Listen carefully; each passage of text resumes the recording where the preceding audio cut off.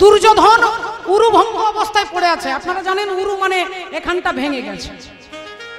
উরুভঙ্গ, রাধে রাধে। তা দুর্যোধনের উরুভঙ্গ অবস্থায় তিনি কুরুক্ষেত্রের মাঠে পড়ে আছে। আর এমন সময় শাস্ত্র আমাদের কথা বলছে না, শিক্ষা দিচ্ছেন যে আজকে দুর্যোধন পড়ে আছে। এর কারণ কি বাবা দুটো কারণ। দুর্যোধনের উরুভঙ্গ হয়েছে কেন? তার এক দুটো কারণ, একটা বাইরের কারণ, একটা ভেতরের কারণ। বাইরের কারণটা কি? না ভীম তার গদা দিয়ে এখানটাতে মেরেছে, তাই এখানটা ভেঙে গেছে। ভীমের গদাটার ওজনই হচ্ছে আশি মন। আশি মনের গদা। তাহলে এক মন মানে যদি চল্লিশ কিলো হয়, তাহলে আশি মন মানে বুঝতেই পারছেন কত হবে? আশি মন মানে তিন হাজার দুশো কেজি। তাহলে গদাটার ওয়েট হচ্ছে তিন হাজার দুশো কিলো। সেই গদা দিয়ে এখানটাতে মারলে এখানটা থাকবে? থাকবে না। তাহলে এই গদা দিয়ে মারলো বলে তার উরুভঙ্গ হলো, এটা বাইরের কারণ। আর ভেতরের কারণটা কি? না, ভেতরের কারণ বলছে, যত করো চালাকি, পিছে দেখবে জ্বালাকি। যত করো চালাকি, পিছে দেখবে জ্বালাকি। তা দুর্যোধন কি চালাকি করল? কোন দিন করেছিল? এই তথ্য জানতে গেলে যখন কুরুক্ষেত্রের যুদ্ধ সবেমাত্র শুরু হয়েছে, এর মধ্যে রানী গান্ধারী তার ছেলে দুর্যোধনকে রাত্রিবেলায় ডেকেছে। ছেলেকে রাত্রিবেলায় মা ডেকেছে, ছেলে মায়ের কাছে গিয়ে দাঁড়িয়েছে। মা উনি চোখে কাপড় বাঁধা অবস্থায় বলে উঠল, বাবা দুর্যোধন, তুই আমার একটা কথা শোন, তার আগে চারিদিকে তাকিয়ে দেখে নে, কেউ কোথাও নেই তো? দুর্যোধন তাকিয়ে দেখে বলে, না, কোথাও কেউ নেই। বলল, তাহলে শোন বাবা, কানে কানে একটা কথা বলছি। ভালো করে বোঝার চেষ্টা করবি। আগামী কাল ভোরবেলায় তুই আমার ঘরে উলঙ্গ হয়ে আসিস। আমার ঘরে উলঙ্গ অবস্থায় আসবি কালকে ভোরবেলায়, সাড়ে তিনটের সময়। যেই এ কথা বলেছে, দুর্যোধন চিৎকার করে উঠল, মা! কি বলছো তুমি? তোমার কি মাথা গন্ডগোল হয়ে গেছে? আমি তোমার ছেলে। আমি আবার পাঁচ বছরের বাচ্চা ছেলে নই। আমি যুবক ছেলে, ইয়ং ছেলে।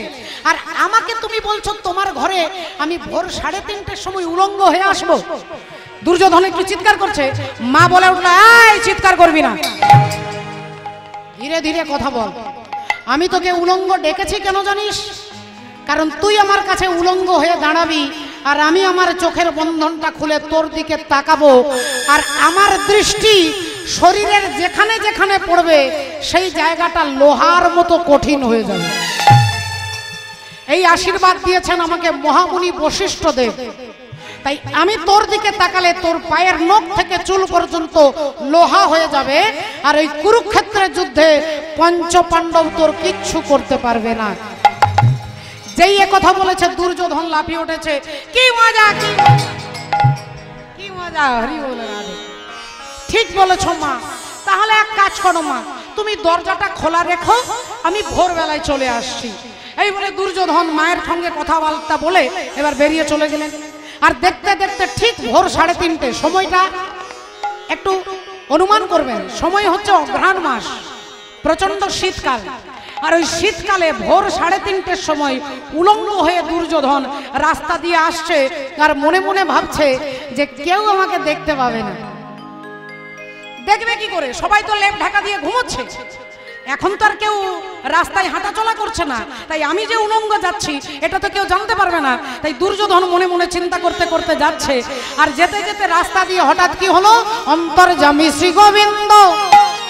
অন্তরে জানিয়া অন্তর যাবে শ্রী গোবিন্দ অন্তরে জানিয়া অন্তর যাবে শ্রী গোবিন্দ অন্তরে জানিয়া। দুর্যোধনের সম্মুখে দাঁড়াল আসিয়া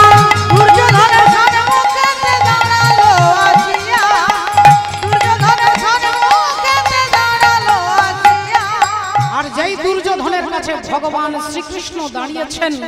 অমনি দুর্যোধন বড় বড় চোখ করে ভগবানের দিকে তাকিয়ে চিৎকার করে বলে উঠল, এ কি? কৃষ্ণ, তুমি? সারা জগতের লোক ঘুমোচ্ছে। বলি, তোমার চোখে ঘুম নেই? ভগবান বললেন, আমি তো ঘুমোচ্ছিলাম। তা তুমি তো জানো না দুর্যোধন, যে সাড়ে তিনটের সময় ব্রহ্ম মুহূর্তে আমি ভোরবেলায় মর্নিং ওয়ার করতে বেরোই তা আমি কি করে জানব যে তোমার সঙ্গে আমার এই অবস্থায় দেখা হবে? তা কি ব্যাপার দুর্যোধন? তোমার সর্বঙ্গে কাপড় নেই। তুমি উলঙ্গ অবস্থায় রাস্তা দিয়ে যাচ্ছ, ব্যাপারটা কি? দুর্যোধন বলে উঠল, শোনো, আমার মেজাজ গরম করে দেবে না। তুমি রাস্তাটা ছেড়ে দাও, আমি তোমার সঙ্গে বেশি কথা বলতে পারব না। না না, বেশি বলতে হবে না। শুধু একটুখানি বলো, এই উলঙ্গ অবস্থায় যাচ্ছ কোথায়? দুর্যোধন বলছে, আমার মা আমাকে ডেকেছে, তাই আমি মায়ের কাছে যাচ্ছি। ও আচ্ছা। তা তোমাদের মা ছেলের ব্যাপার, এখানে তো আমি নাক গলাতে পারব না।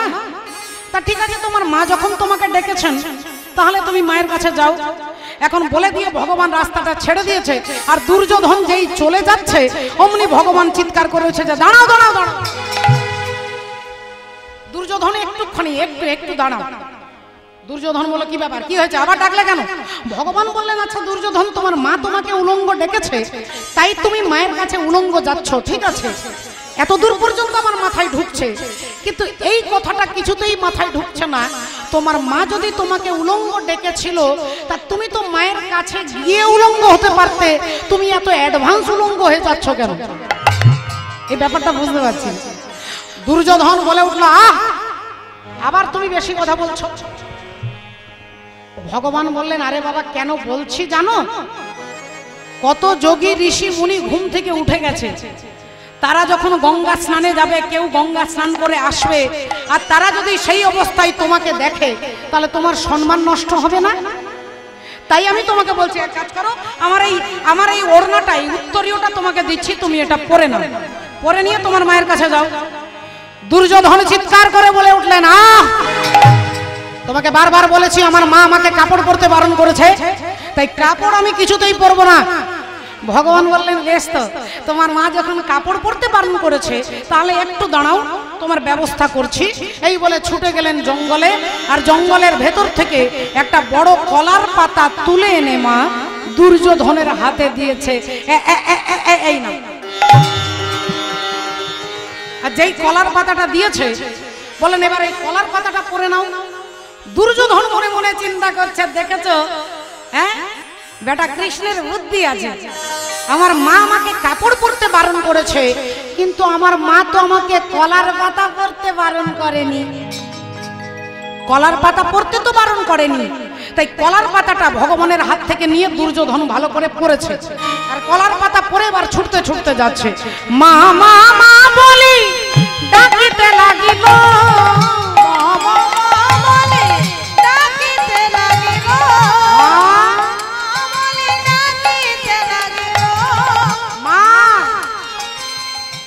চিৎকার করতে করতে। দরজার সম্মুখেতে হোঁচট খাইল। দরজার সম্মুখেতে হোঁচট খাইল। দরজার সম্মুখেতে হোঁচট খাইল। আর কলার পাতা পরে দুর্যোধন যেই মায়ের কাছে যাচ্ছে চিৎকার করতে করতে মা মা বলতে বলতে অমনি মা কি করেছে? চোখের বন্ধনটা খুলে আর যেই ছেলের কাছে দাঁড়িয়েছে, অমনি মা বলে উঠল, দুর্যোধন! এ তুই কি করেছিস, বাবা? হ্যাঁ? এ তুই কি করেছিস? তোকে আমি বারবার বলেছিলাম, তুই আমার কাছে উলঙ্গ হয়ে আসবি, আর তুই কলার পাতা পরে চলে এসেছিস। ছেলে বলল, আমার কি দোষ? আমার উপরে তুমি রাগারাগি করছ। আমি কি করেছি? আমি কি কলার পাতা পড়তে চেয়েছিলাম নাকি? সে তো আমাকে কলার পাতা পরিয়েছে। গান্ধারী মা বলে উঠল, কে তোকে এই ভোর সাড়ে তিনটার সময় কলার পাতা পরিয়েছে? দুর্যোধন বলল এই ভোরবেলায় তার নামটা মনে আসছে না। কি যেন নাম ওই নন্দের বেটা কেষ্টা যে নষ্ট করেছে সারা দেশটা। ওই নন্দের বেটা কেষ্টা। মা গান্ধারী বলল, এই ভোরবেলায় তোর সঙ্গে কৃষ্ণের দেখা হয়েছিল? বলে হ্যাঁ সে তো বলে, সে নাকি ভোরবেলায় মর্নিং ওয়াক করতে যায়।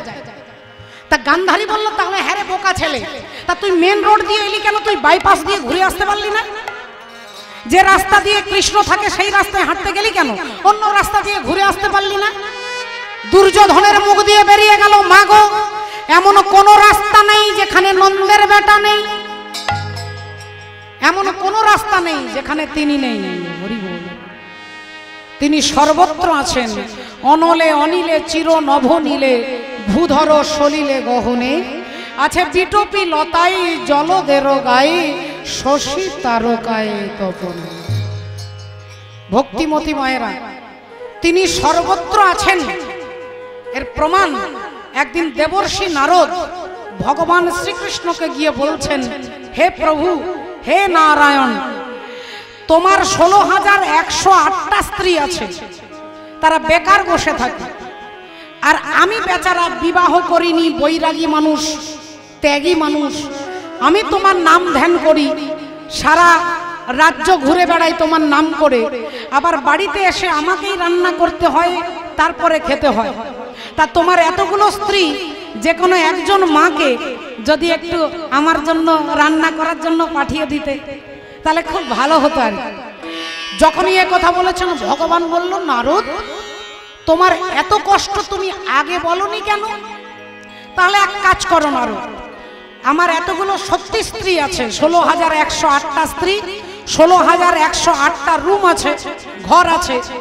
তা তুমি যে কোনো একজন স্ত্রীকে, মাতৃজ্ঞানে, তুমি যে কোনো একজন, আমার যে কোনো স্ত্রীকে তুমি নিয়ে যাবে। তবে মনে রাখবে, নারদ, যে ঘরে আমি থাকব না দেখবে যে ঘরে আমি নেই, সেই ঘরের স্ত্রীকে নিয়ে যাবে, তোমার রান্না করে দেবে। নারদ মুনি ভাবলো, ঠিক আছে, তাহলে ষোলো হাজার একশো আটটা স্ত্রী, এতগুলো ঘর যে কোনো একটা ঘরে প্রভু থাকবে, সব ঘরে তো আর প্রভু নেই? এই নারদ মুনি ছুটতে ছুটতে গিয়ে যেই রুক্মিণী মায়ের দরজাটা খুলেছে, যেই রুক্মিণী মায়ের দরজাটা খুলেছে, অমনি দেখছেন ভগবান শ্রীহরি পালঙ্কে বসে আছেন। পালঙ্কের মধ্যে বসে আছেন। সঙ্গে সঙ্গে ভাবলো তাহলে, রুক্মিণী মায়ের ঘরে আছে। তাহলে জাম্বুবতী মায়ের ঘরে দেখি। এইবার জাম্বুবতী মায়ের ঘরের দরজাটা যেই খুলেছে, দেখছে ভগবান তখন মা জাম্বুবতীর চুলে বিনুনি করে দিচ্ছে। বিনুনি করে দিচ্ছেন ভাবলেন তাহলে এই ঘরে আছে, তাহলে পাশের ঘরে যাই। এবার পাশের ঘরে গিয়ে দরজাটা খুলে দেখছে ভগবান সেখানে পায়েস খাচ্ছে। তা নারদ মুনি ভাবছে, যেই ঘরের দরজা খুলছে, সেই ঘরেই আছে। তাহলে কি কোনো আন্ডারগ্রাউন্ডে কোনো রাস্তা করা আছে নাকি রে বাবা? কি তলাই তলাই রাস্তা করা আছে? ঢুকে দেখছে না কোনো রাস্তা করা নেই। অথচ যে ঘরের দরজাটা খুলছে, সেই ঘরেই ভগবান বসে আছে। মনের দুঃখে নারদ মুনি এসে ভগবানকে বলছে, প্রভু, তুমি বললে যে ঘরে আমি নেই, কিন্তু আমি যে ঘরটাই খুলছি, সেই ঘরে তোমাকে দেখতে পাচ্ছি। ব্যাপারটা কি? অমনি পণ্ডিত প্রবর ব্যস্ত বলছেন হে দেবর্ষি বলি ঘর ছাড়া কি কৃষ্ণ থাকে? ঘর ছাড়া কি কৃষ্ণ থাকে? ঘর ছাড়া কি কৃষ্ণ থাকে? ঘর ছাড়া কি কৃষ্ণ থাকে? ঘরে ঘর ছাড়া কি কৃষ্ণ থাকে? ঘরে ছাড়া কি কৃষ্ণ থাকে? বিচার করে দেখো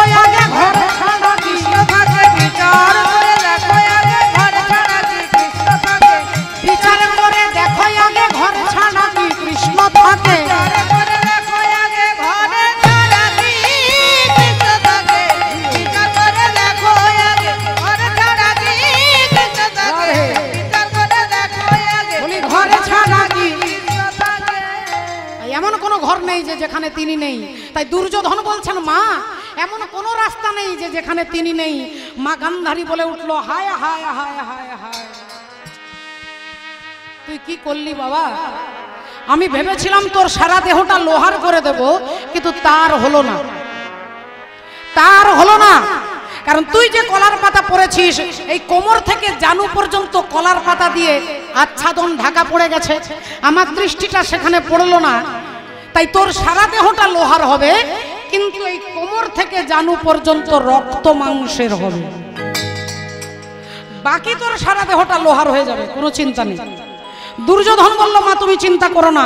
আমার যে কোমর থেকে জানু পর্যন্ত রক্ত মাংসের, এটা তো তুমি আর আমি ছাড়া কেউ জানে না। তাই তুমি চিন্তা করো না। এই বলে দুর্যোধন ঘর থেকে বেরিয়ে চলে গেল। কিছুক্ষণ পরে তুমুল যুদ্ধ শুরু হয়ে গেল।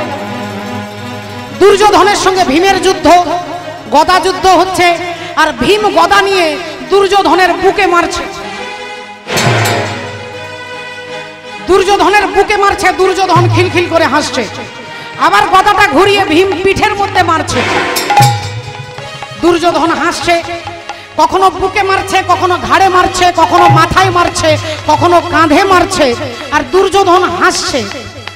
ভীম মনে মনে চিন্তা করছে, আমার একটা গধার আঘাতে পাহাড় ভেঙে যায়, আর আমি গদা দিয়ে মারছি, ভীম হাস, দুর্যোধন হাসছে। তাহলে ব্যাপারটা কি? এটা জানবার জন্য যেই ভীম ভগবানের দিকে তাকিয়েছে। এতক্ষণ পর্যন্ত ভগবান নিউট্রাল তিনি কোনো কথা বলেননি বল যতক্ষণ পর্যন্ত জীব ভগবানের দিকে না তাকাবে, ততক্ষণ পর্যন্ত ভগবান কোনো কথা বলবে না। যতক্ষণ আমরা ভাববো যে আমার বাড়ি, আমার ঘর, আমার ছেলে, আমার নাতি, আমার আত্মীয়, এই ততক্ষণ পর্যন্ত সমস্যাটা আমাকেই নিতে হবে। আর আমি যদি বলতে পারি, তোমার ঘর, তোমার ছেলে, তোমার নাতি, তোমার আত্মীয় পরিজন তাহলে সমস্ত যন্ত্রণাটা তিনি নেবেন, আমাকে দিতে হবে না।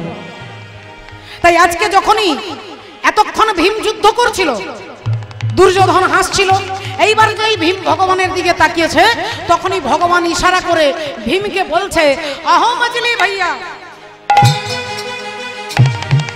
यहाँ पर बार करो এখানে মজলি ভাইয়া यहाँ पर बार करो ইশারাই দেখাচ্ছেন যে এখানে মারো তা ভগবান যখন ইশারাই দেখাচ্ছে তখন ভীমও ইশারায় কথা বলছে যে আমি ওর বুকে মারছি কিচ্ছু হচ্ছে না ওর পিঠে মারছি কিচ্ছু হচ্ছে না ওর ঘাড়ে মাথায় সব জায়গায় মারছি কিছু হচ্ছে না আর এখানে মারলে কিছু হবে এখানে মারলে কাজ হবে ভগবান বললেন কাজ হবে না মানে এখানে মারলে যে কাজ হবে, তার জন্য ভোর সাড়ে তিনটের সময় আমাকে কলার পাতা পরাতে হয়েছে।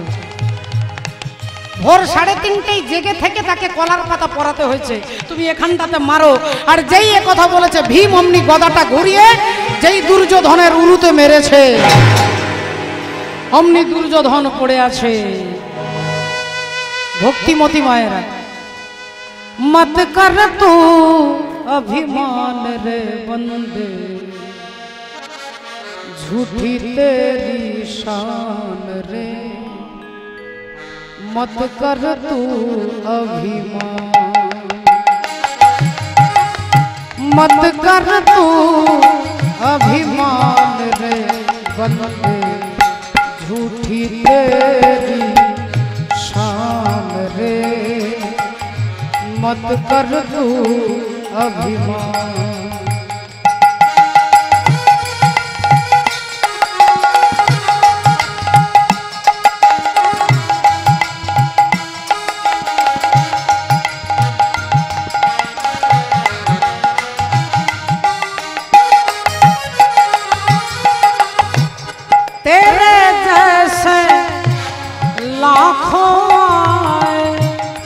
लाखों इन माँ দিনে খায়।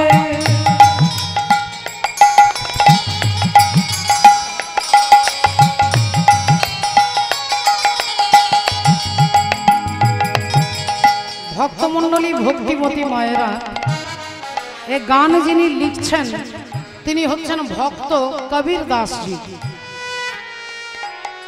কবির দাসজি বলছে, সবার আগে আমরা অহংকার করি আমাদের দেহটার। আমরা দেহটার অহংকার করি। আমি এটা করতে পারি, এটা তুলতে পারি, ওকে মারতে পারি, এটা করতে পারি, এই দেহটার অহংকার কিন্তু এই দেহটাই আমার নয়। তেরে লাখো লাখো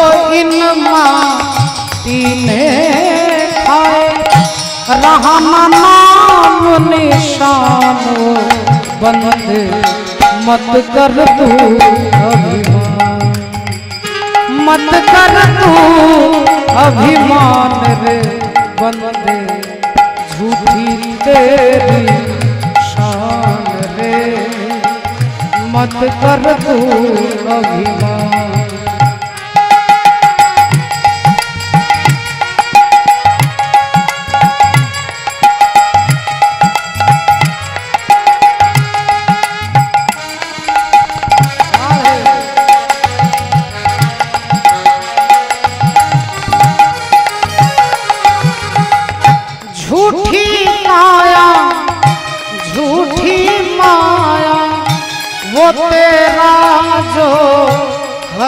गुण गाया झूठी काया, झूठी माया, वो तेरा जो हरि गुण गाया, जप ले हरि का नाम बंदे मत कर तू अभिमान।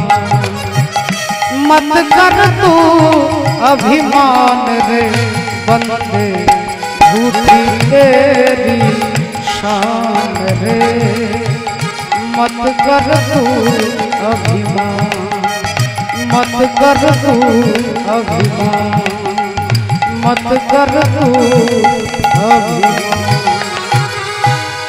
সেই দুর্যোধন আজকে উরুভঙ্গ অবস্থায় চিৎকার করছে কেউ কি নেই কেউ কি নেই আমার পাশে দাঁড়ানোর মতো কি কেউ নেই?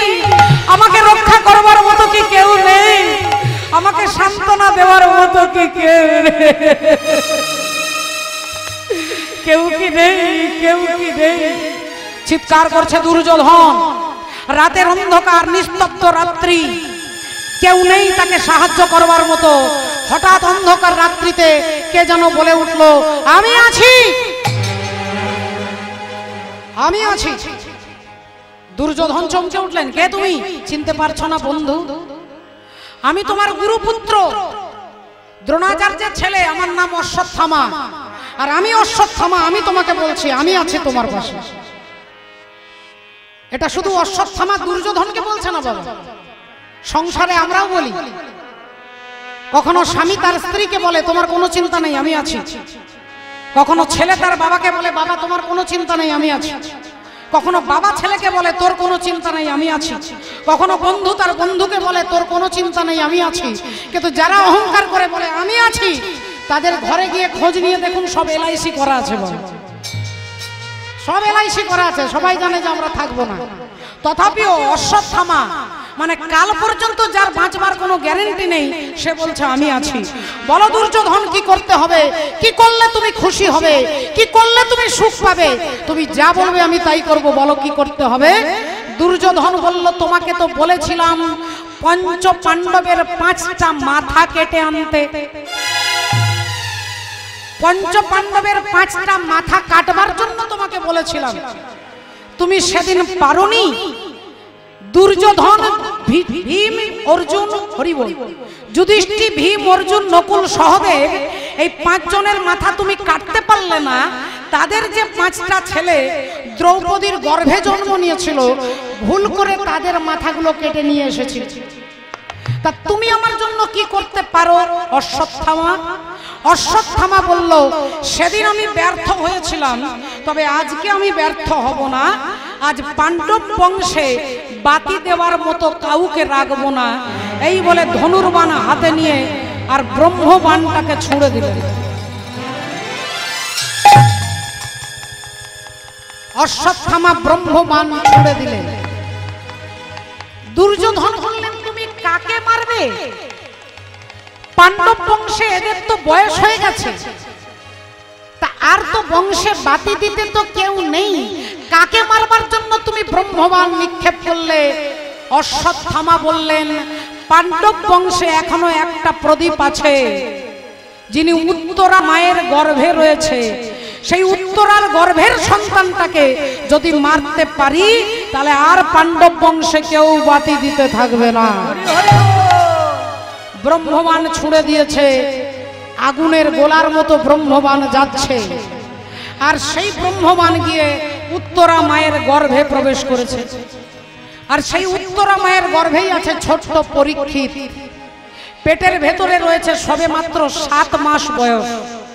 সেই সাত মাসের সন্তানকে মারবার জন্য যেই ব্রহ্মমান ছুঁড়ে দিয়েছে, অমনি মা উত্তরা দেবী ছুটতে ছুটতে গিয়ে ভগবানের কাছে দাঁড়িয়েছে। তুমি যদি ভগবান ভক্তেরই প্রাণ। তবে কেন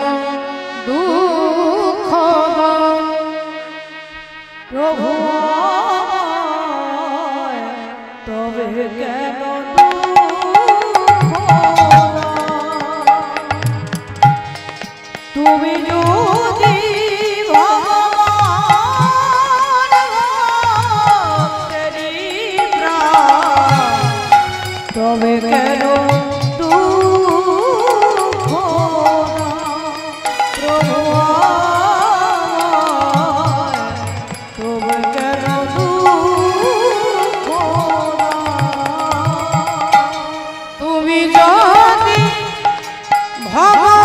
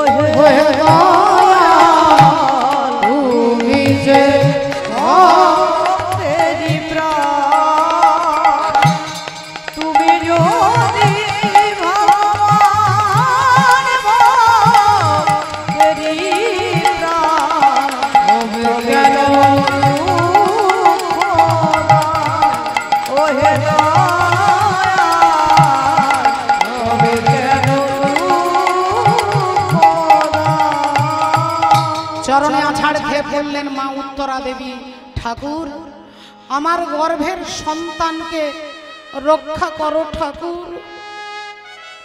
রক্ষা করো দয়াময়, রক্ষা করো। আমার ছেলেকে বাঁচানোর জন্য আমি তোমার কাছে আসিনি ঠাকুর। হে অনন্তময়, হে পরমেশ্বর, আজ আমি তোমার কাছে আমার ছেলেকে বাঁচানোর জন্য আসিনি। তবে আমি এসেছি তোমার মর্যাদাকে বাঁচানোর জন্য।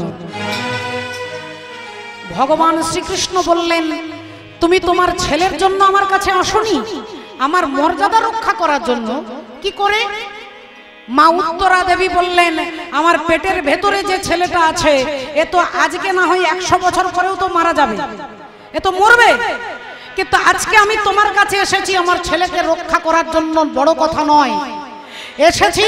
আজকে যদি আমার গর্ভের সন্তান পেটের ভেতরে মারা যায়, এই সারা সমাজ বলবে যে কৃষ্ণ যাদের পক্ষে ছিল, তাদের বংশে বাতি দিতে কেউ না রহিল। কৃষ্ণ যাদের পক্ষে ছিল, তাদের বংশে পাতি দিতে কেউ না রহিল। তাই তোমার নামের কলঙ্ক হবে, আমি সব সইতে পারি, কিন্তু তোমার কলঙ্ক সইতে না। তোমার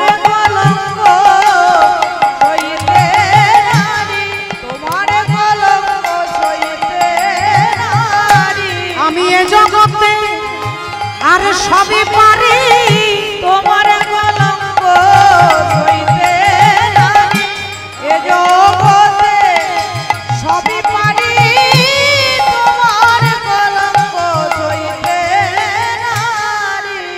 দেখো ভক্তের সম্মান হানি হয়ে যাক, ভগবানও চায় না।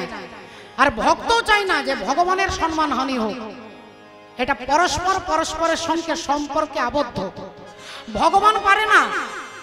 কোন ভক্ত যদি কাঁদে, তিনি ব্রাহ্মণ হোক আর চণ্ডাল হোক, তিনি পণ্ডিত হোক আর মূর্খ হোক, ভগবান বিচার করে না, শুধু তার অন্তরের ভক্তি তার দেখে মাগো এর প্রমাণ বলছে শাস্ত্রে, আপনারা সকলে যাকে চেনেন, ভগবান সব সইতে পারে, ভগবান শুধু অহংকার সহ্য করতে পারেন না। অহংকার সহ্য হয় না, আর অহংকার করছেন কে? অর্জুন আর ভীম। ভীম আর অর্জুন দুই ভাইয়ের মধ্যে কথা হচ্ছে। ভীম বলছে, অর্জুনকে যে, অর্জুন, আমি যদি কুরুক্ষেত্রে যুদ্ধে না থাকতাম, তাহলে কিন্তু তোমরা জিততে পারতে না। আর অর্জুন বলছে, দাদা ভীম, কি বলছো তুমি? আমি যদি না থাকতাম, তাহলে তোমরা জিততে পারতে না। আর এটাই হয় বাবা, যে যার ট্যালেন্টের কথা বলে। এ বলে, আমি ভালো। ও বলে, আমি ভালো, এটাই তো চলছে। এ বলে, আমি ভালো। ও বলে, আমি ভালো। হরি বল, রাধে রাধে। কিন্তু কে ভালো, সে শুধু জনগণ জানে। দেখুন, আজকে দুজনে দুজনের ট্যালেন্টের কথা বলে যাচ্ছে। কিন্তু কেউ ভগবানকে স্মরণ করছে না। এ বলছে, আমায়, আমি না হলে হতো না। ও বলছে, আমি না হলে হতো না। আর দুজনে কথা বলতে বলতে হঠাৎ কে যেন চিৎকার করে হাসছে, খিলখিল করে হাসছে। চমকে উঠলেন অর্জুন। কে?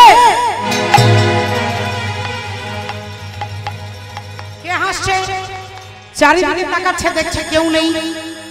হঠাৎ তাকাতে গিয়ে ওপরের দিকে তাকাচ্ছে দেখছে ভীমের মাথার উপরে একটা কাটা মাথা ঝুলছে বাবা আর ওই কাটা মাথাটা খিলখিল করে হাসছে। অমনি ভীম গদাটা তুলে বললেন তবে রে বেটা তোর এত বড় সাহস। তুই চিনিস না আমি ভীম আরে অর্জুন।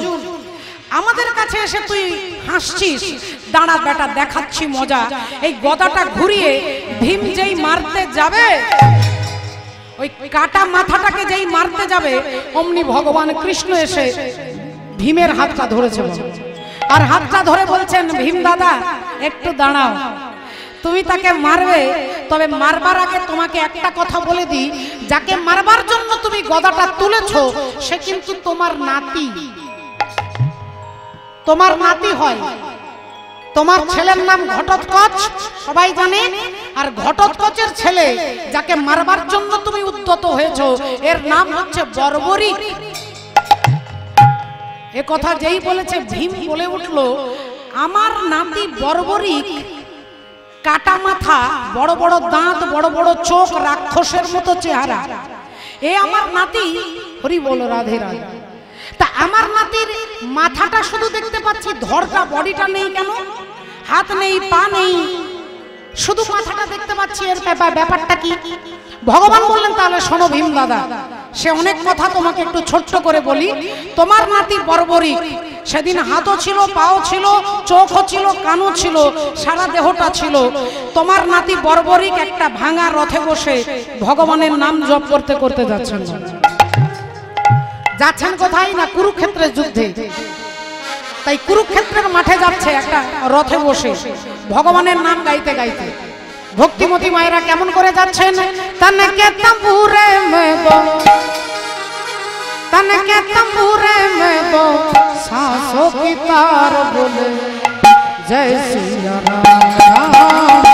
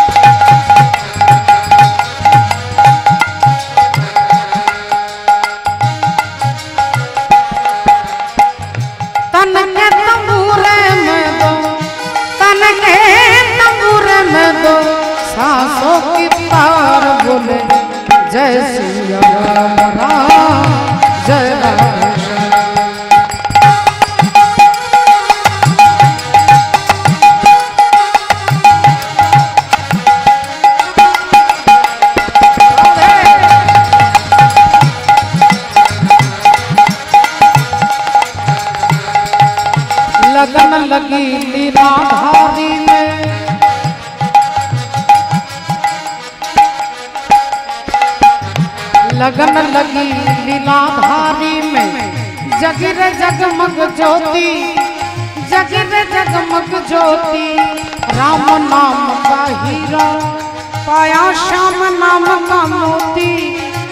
जगिर जगमग ज्योति। मन की मुरलियों में। ओ, मन की मुरलियों में। मन की मुरलियों में सुर का सिंगार बोले जय सिया राम। आ,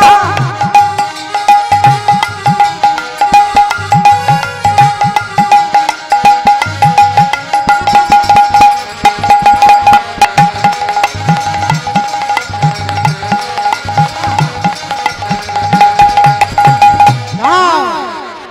ভগবান এসে সামনে দাঁড়িয়েছে এই যে ছেলে কি নাম তোমার আগে ঠাকুর, আমার নাম বরবরি। কোথায় যাচ্ছ? আমি যাচ্ছি কুরুক্ষেত্রে যুদ্ধে। কে আছে? সেখানে তোমার? ওখানে যুদ্ধে কে আছে তোমার? বললেন, আমার দাদু ভীম আছে। ভগবান বললেন আচ্ছা তুমি তাহলে ভীমের নাতি? আগে হ্যাঁ ঠাকুর, তা তুমি তাহলে, যেহেতু তোমার দাদু হচ্ছে ভীম, তাহলে তুমি ভীমের দলে যোগদান করবার জন্য যাচ্ছ। নাকি? তুমি তোমার দাদু ভীমের দলে যোগদান করতে যাচ্ছ? সঙ্গে সঙ্গে বর্বরিক মাথাটা নেড়ে বললেন আমি আমার দাদু ভীমের দলে যোগদান করতে নয়, আমি আমার দাদুর শত্রু দুর্যোধনের দলে যোগদান করতে যাচ্ছি। দুর্যোধনের দলে যোগদান করতে যাচ্ছি। ভগবান বললেন, কেন? তোমার দাদু ভীম, অথচ তুমি দাদুর দলে না থেকে দাদুর শত্রুর দলে যাচ্ছ। ব্যাপারটা কি? বর্বরিক বললেন ঠাকুর আমার মা যেদিন পৃথিবী ছেড়ে চলে যাবে সেদিন আমার হাতটা ধরে বলেছিল বাবা বর্বরিক যদি কোনোদিন কখনো কোনো যুদ্ধে অংশগ্রহণ করিস তাহলে যে পক্ষটা দুর্বল পক্ষ সেই দুর্বল পক্ষেই যোগদান করিস।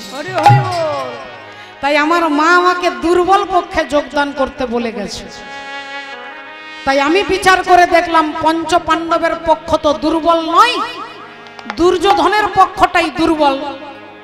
এ কথা যেই বলেছে, ভগবান বলল, তুমি বাচ্চা ছেলে, কিচ্ছু জানো না, খবর রাখো না। দুর্যোধনের পক্ষে আছে এগারো অক্ষহীনী সেনা, আর পঞ্চ পাণ্ডবের পক্ষে আছে মাত্র সাত অক্ষহীনী সেনা। এদের পক্ষে এগারো অক্ষহীনী এদের পক্ষে সাত অক্ষহীনী তাহলে এবার তুমি বলো কে দুর্বল? বর্বরিক বললেন, ঠাকুর, আমি আগেও যা বলেছি, এখনও তাই বলছি। পঞ্চ পাণ্ডবের পক্ষ কখনো দুর্বল নয়। বললেন, কেন? তাদের পক্ষে সাত অক্ষহীনী সেনা আছে। তথাপিও তারা দুর্বল নয়। কারণটা কি? না, কারণ অনন্ত কোটি ব্রহ্মাণ্ডের যিনি শক্তির আকর, যিনি পরমাত্মা ভগবান কৃষ্ণ, যাদের পক্ষে থাকে, বলে তারা কি দুর্বল? হতে পারে। তারা কি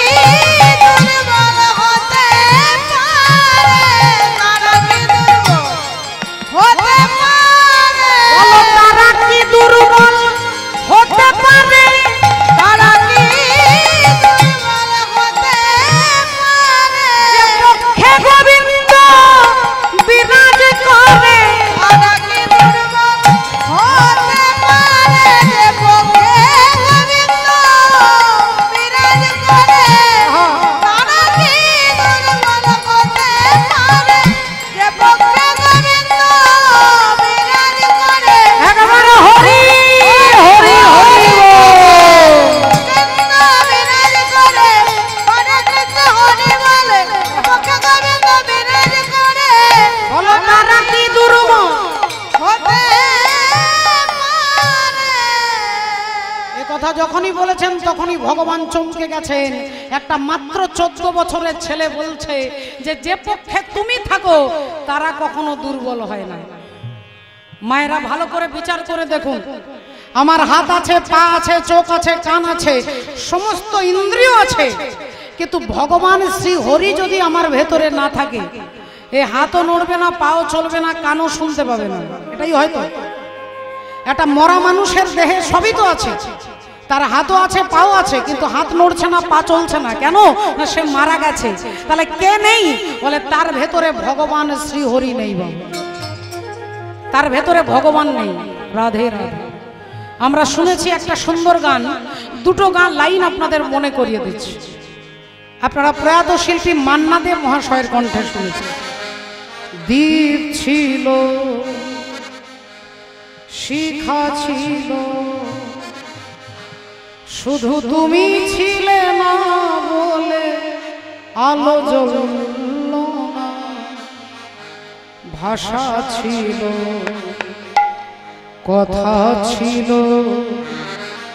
কাছে ডাকলে না বলে মন, কথা বলল না।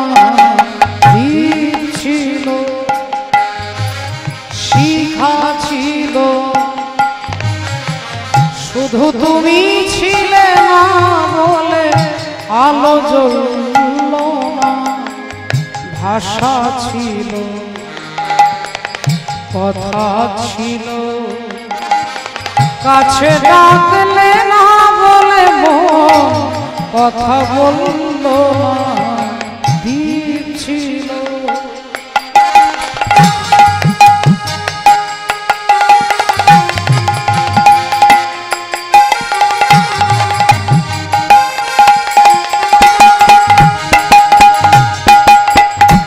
ঝর্ণা কেমনে হয় নদী। সাগর না ডাকে কবু যদি। ঝর্ণা কেমনে হয় নদী। সাগর না ডাকে কবু যদি। তাই যেতে যেতে থেমে গেল বয়ে চলল না কাছে ডাকলে না বলে কথা বলল না দ্বীপ ছিল, শিখা ছিল। শুধু তুমি ছিলে না বলে আলো না, আশা ছিল, কথা ছিল। কাছে ডাকলে না বলে কথা বলল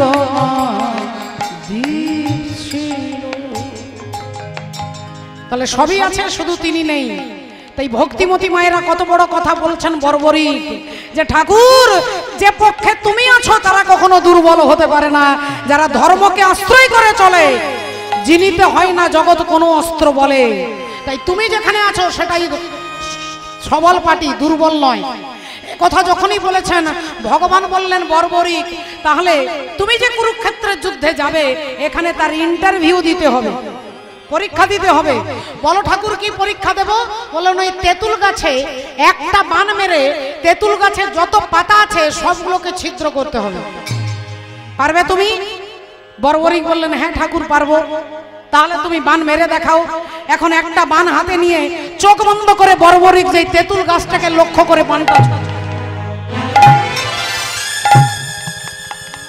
যেই চোখ বন্ধ করে বানটা ছুটতে যাবে, অমনি ভগবান সেই অবস্থায় গাছের কাছে ছুটে গিয়ে একটা পাতা নিজের হাতে রেখেছেন আর একটা পাতা চরণের তলায় রেখে চুপ করে ভগবান দাঁড়িয়ে আছে। ভগবান চুপ করে দাঁড়িয়ে আছে। আর বর্বরিক ওই ভগবানের নাম স্মরণ করে যেই বানটাকে ছুঁড়ে মেরেছে, গাছে যত তেঁতুল পাতা আছে সব ছিদ্র হয়ে গেছে। সব ছিদ্র হয়ে গেছে। বর্বরিক বলছে, দেখো ঠাকুর, সব পাতা ছিঁড়ে দিয়েছি। ভগবান বললেন, সব পেরেছ, তবে দুটো পারোনি। দুটো পাতা ছিঁড়তে পারোনি। এই বলে যেই ভগবান হাতটা খুলে দেখাচ্ছে, এই দেখো। যেই হাতটা খুলে দেখাচ্ছে, দেখছে হাতের পাতায়। হাতের যে পাতাটা ছিল, সেটাও ছিঁড়ে গেছে। ভগবান ভাবলেন, এটা কি করে ছিঁড়ল? তখন এবার চরণের তলাটা তুলেছে। আর যেই চরণটা সরেছে, অমনি দেখছে চরণের তলার পাতাটাও ছিদ্র হয়ে গেছে। মনে মনে ভগবান চিন্তা করছে, আমি যাকে হাতে রেখেছি, তাকে ছিদ্র করে দিয়েছে। আমি যাকে পায়ের তলায় রেখেছি, তাকে ছিদ্র করে দিয়েছে। তাহলে আমি যাকে চরণের তলায় ঠাঁই দিয়েছি, তাকেও যদি বিনাশ করে দেয়, তাহলে এর হাত থেকে তো আমি পঞ্চপাণ্ডবকে রক্ষা করতে পারব না। এই যদি দুর্যোধনের দলে চলে যায়, তাহলে তো পঞ্চপাণ্ডবকে রক্ষা করতে পারব না। আর তখনই ভগবান সুদর্শন চক্র হাতে নিয়ে বললেন, বর্বরিক, আগে আমার সঙ্গে তোমাকে যুদ্ধ করতে হবে। এ কথা যেই বলেছে, বর্বরিক আনন্দে চোখ দিয়ে দরদর করে জল পড়ছে। আর মনে মনে বলছে, প্রভু বলি এই তো আমি চেয়েছিলাম, এই তো আমি চেয়েছিলাম।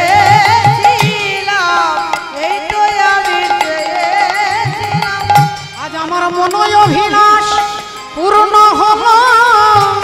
এই তো আমি চেয়েছিলাম মনয় অভিলাষ পূর্ণ হলো। এই তো আমি বর্বরিক বলল ঠিক আছে ঠাকুর তাহলে আমার সঙ্গে যুদ্ধ করো। বর্বরিক হাতে ধনুর্বাণ তুলেছে আর ভগবান সুদর্শন চক্রটাকে ছেড়ে দিয়েছে। আর অমনি সুদর্শন চক্র গিয়ে বর্বরিকের দেহ থেকে মুন্ডটাকে আলাদা করে দিয়েছে। এবার মুন্ডটা যখন কাটা হয়ে মাটিতে পড়ে যাচ্ছে তখন ভগবানের নাম স্মরণ করছে তখন ভগবানের নাম স্মরণ করছে কৃষ্ণ জগন্নাথ কৃষ্ণ জগন্নাথ কৃষ্ণ জগন্নাথ কৃষ্ণ জগন্নাথ কৃষ্ণ জগন্নাথ কৃষ্ণ জগন্নাথ কৃষ্ণ জগন্নাথ কৃষ্ণ জগন্নাথ কৃষ্ণ জগন্নাথ কৃষ্ণ জগন্নাথ কৃষ্ণ জগন্নাথ কৃষ্ণ জগন্নাথ উরুধ্বনি হরি বল। কৃষ্ণ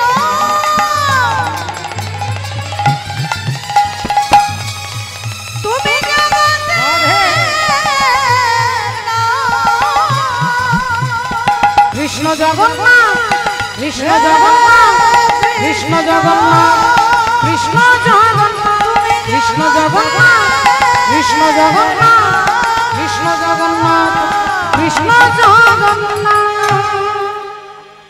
কৃষ্ণ কৃষ্ণ কৃষ্ণ কাটা মুন্ড থেকে চিৎকার করছে আর ভগবান ছুটে গিয়ে বর্বরিকের কাটা মুন্ড মাটি থেকে তুলে নিয়ে বলছে বর্বরিক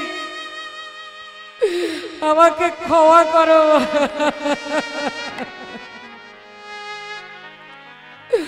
আমাকে ক্ষমা করো বর্বরিক ক্ষমা আমি তোমার মতো ভক্তের প্রাণ হরণ করেছি। শুধুমাত্র পঞ্চ পাণ্ডবকে রক্ষা করবার জন্য। আমায় ক্ষমা করো। বর্বরিকের কাটা মুন্ড বলছে, ঠাকুর, তোমার হাতে যে মরে, সে কি মরে? না সে অমর হয়ে যায়? তুমি যাকে বধ করো, সে কি মরে যায় না অমর হয়ে যায়? হরি বল, রাধে রাধে। আজও পর্যন্ত রাবণ পোড়া হয়। রাবণকে পোড়ানো হয়। তাহলে রাবণ বছর বছর মরে বলে তো পোড়ানো হয় নাকি? তাহলে রাবণ বেঁচে আছে, তবে তো বছরে বছরে তাকে পোড়ানো হচ্ছে, রাবণ পোড়ানো। তাহলে যে ভগবানের হাতে মরে, সে কি মরে না অমর হয়ে যায়? তাই তুমি আমাকে কৃপা করেছ। আমার কোনো দুঃখ নাই ঠাকুর। তবে একটা বড় ইচ্ছে ছিল যে আমার ইচ্ছে ছিল যে কুরুক্ষেত্রের যুদ্ধটা আমি আমার নিজের চোখে দেখতে চাই। ভগবান বললেন, বর্বরিক তথাস্তু, তুমি আঠেরো দিন বেঁচে থাকবে, এই কুরুক্ষেত্রের যুদ্ধ দেখবে, তবে তুমি দেখবে তোমাকে কেউ দেখতে পাবে না। যুদ্ধটা তুমি দেখবে, তোমাকে কেউ দেখতে পাবে না। আমি বরদান দিলাম। এই আঠারো দিন কুরুক্ষেত্রের যুদ্ধ বর্বরিক দেখেছিলেন। আজকে ভীম প্রশ্ন করছে, আমার নাতির সারা বডিটা নেই, শুধু মাথাটা। এই ঘটনা বলতে গিয়ে ভগবান কথাটা বললেন, এইবার এতক্ষণ পরে ভীম বুঝতে পারল যে তাহলে ভগবান কৃষ্ণই আমার নাতির ধর থেকে মুন্ডটাকে আলাদা করেছে। এইবার ভীম জিজ্ঞাসা করছে, হে সখা কৃষ্ণ, তাহলে এবার বলো যে ও যদি আমার নাতি হবে, তাহলে আমাদেরকে দেখে হাসলো কেন? তখন বর্বরিক কাটা মুন্ড থেকে বলছে, দাদু আসলে তুমি যখন বলছিলে না যে আমি ওকে মেরেছি, অর্জুন দাদু বলছে, আমি একে মেরেছি। তা তোমরা তো কেউ দেখোনি, কিন্তু আমি দেখেছি। তুমি যাকে মেরেছ বলে মনে করছ, তাকে মারবার অনেক আগে তিনি তাকে মেরে রেখেছেন। তুমি নিমিত্ত মাত্র। কেউ যদি অহংকার করে যে মন্দিরটা আমি করেছি, আমার তত্ত্বাবধান। আমি টাকা দিয়ে করেছি, ভুল। মন্দির হয়ে আছে, তিনি কৃপা না করলে আপনি চেষ্টা করলেও পারবেন না। ভালো থাকবার চেষ্টা আমরা সকলে করি। অপরাধ নেবেন না, সৌরভ গঙ্গোপাধ্যায়।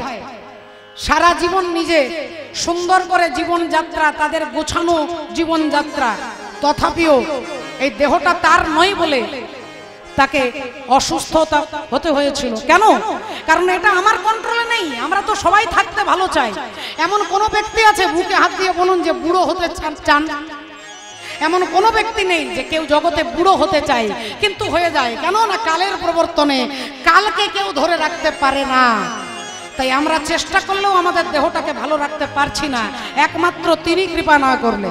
তাই দাদু তুমি বলছো আমি মেরেছি ও বলছে আমি মেরেছি কিন্তু তুমি মারবার অনেক আগে আমি দেখেছি ভগবান কৃষ্ণ তাকে মেরে রেখেছে তুমি নিমিত্ত মাত্র।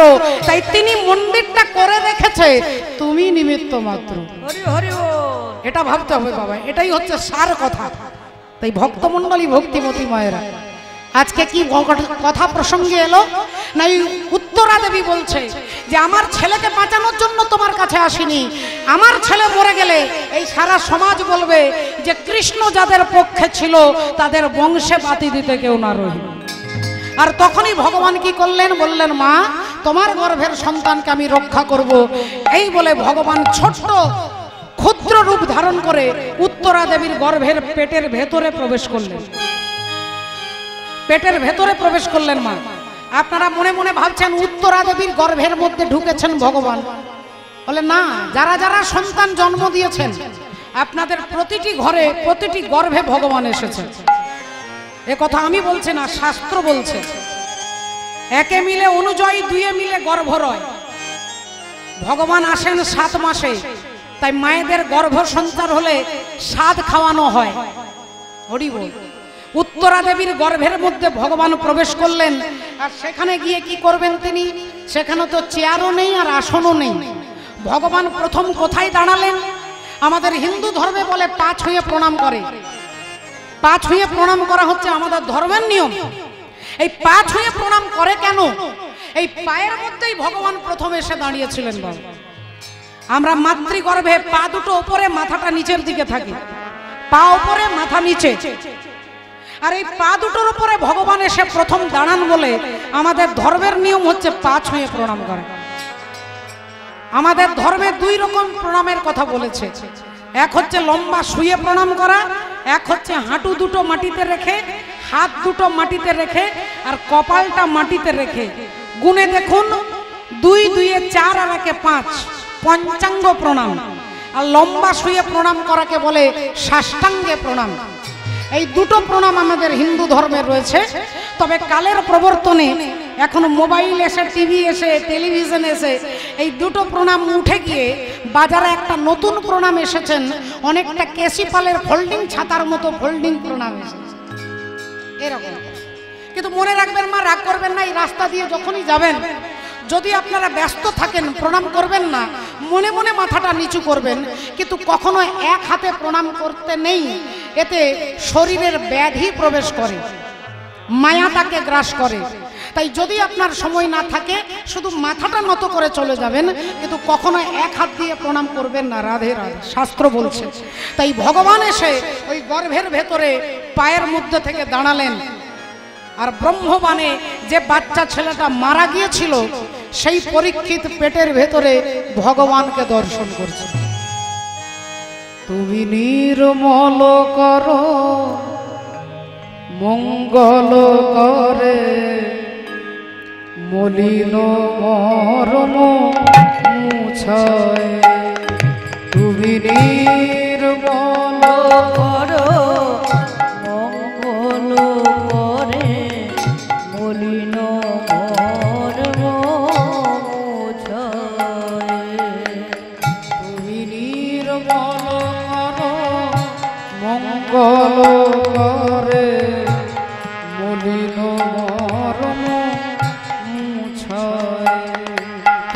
অবগুণ্য কিরণ দিয়ে যাক মোর মোহ কালিমা ঘুচায়ে মনিরা